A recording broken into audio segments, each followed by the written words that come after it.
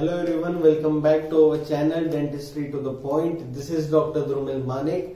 So in today's video we're going to discuss about our next topic in the series of diseases of bones, right? So the next topic is osteogenesis imperfecta. Now this is again a common and important topic regarding to short and long answers in the final examination. So osteogenesis imperfecta, what does it mean?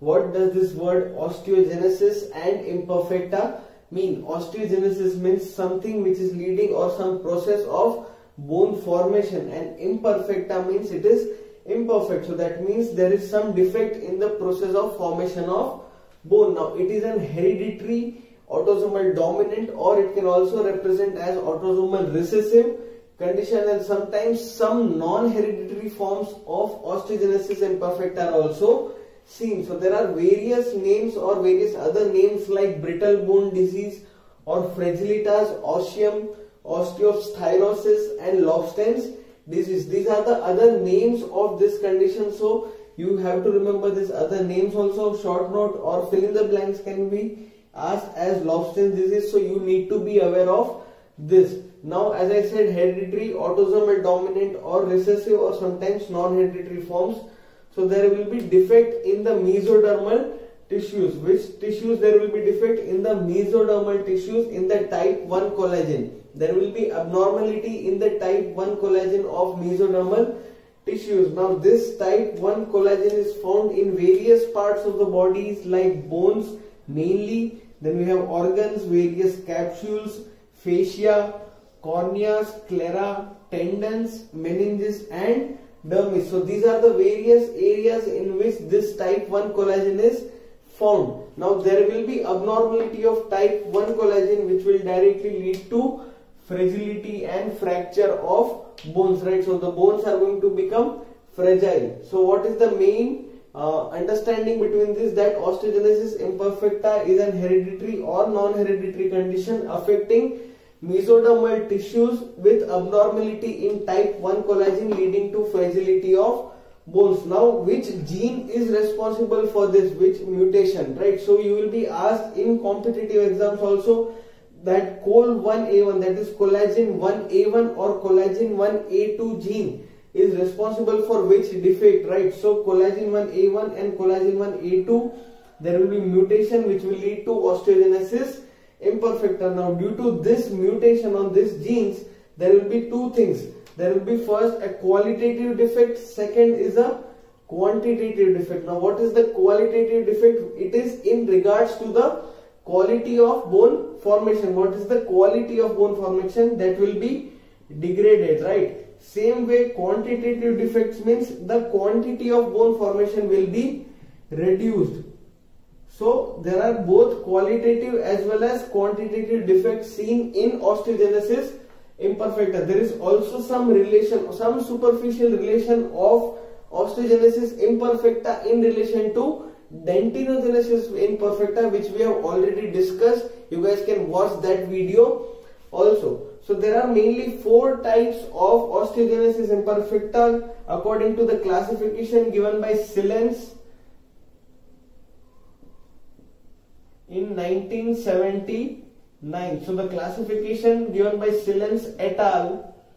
in 1979 divided osteogenesis imperfecta into four types that is type 1, 2, 3 and type 4. Now this type, this all the four have some differences and some clinical features which are different among this. So we'll discuss further about the clinical features, histology and radiographic features of osteogenesis imperfecta.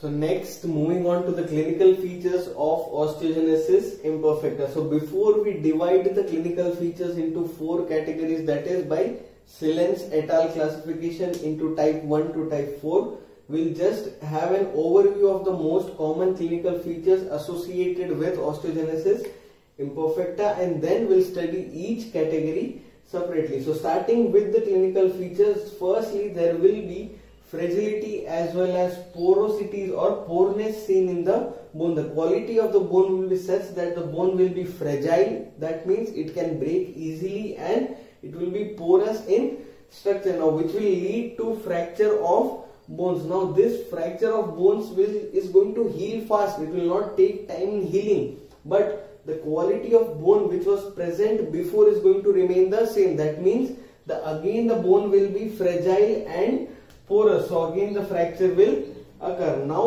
the type 1 and type 4 osteogenesis imperfecta is mainly seen in infancy. The infants are more commonly affected. Type 2 is seen in utero and type 3 is seen both in utero and neonatal. Half of the cases are in utero and in half of the cases are affecting the neonatal age group, right? So there is no uh, specific gender predilection seen amongst the uh, cases of osteogenesis imperfecta. Now in the case of type 2 and type 3 osteogenesis imperfecta, if you take a prenatal ultrasound of a mother, right, you will see the child's leg, the bowing of legs you will see, you will see fracture, you will see limb shortening. Due to this fragility and porosities or porous bone, there will be bowing of legs, there will be fracture and limb shortening right? So these are the bone related clinical features. Now there is one more clinical feature which denotes or which is associated with osteogenesis imperfecta that is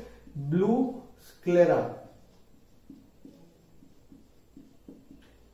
So now this blue sclera what does it mean? Uh, in the introductory part I said that type 1 collagen is also present in some of the tissues in which we had sclera so if there is mutation in type 1 collagen, the sclera is going to become thin. And as well as the sclera will become thin, the choroid which is present behind the sclera is going to show its color more prominently. So the sclera will appear bluish in color. So blue sclera is the clinical feature associated with osteogenesis imperfecta as well as there are various other conditions which are associated with blue sclera this is again an important point which is to be noted because it can be asked in MCQs in pre-PG examinations also that blue sclera is present in which of the conditions right? So it is osteopetrosis fetal rickets Turner syndrome Paget's disease Marfan syndrome and Ehlers-Danlos syndrome. So you will be like sir you have given six of the names will get confused. So I have a mnemonic for you guys that is MOT FOE. Now what does this MOT and FOE stand? Just listen carefully. Mutation of type 1 collagen. M stands for mutation. O stands for type 1 collagen leads to fragility of extremities. Right. What does it lead? It will lead to fragility of extremities that is Marfan syndrome, osteopetrosis, Turner syndrome, fetal rickets and Ehlers-Danlos syndrome. And one you have to remember exceptional that is Paget's disease, right? So this was about the blue sclera. Now apart from this clinical features, there are other clinical features like deafness due to otosclerosis. There will be defects of the teeth which are almost similar which are seen in dentinogenesis imperfecta or hereditary opalescent dentine right? We have a video on this. You guys must watch this also. Then we have laxity of ligaments. We have peculiar shape of the skull. The bone remodeling would be such that there will be a peculiar shape of the skull and abnormal electrical response of muscle. So these are some of the common clinical features. Now we'll study type 1 to type 4 separately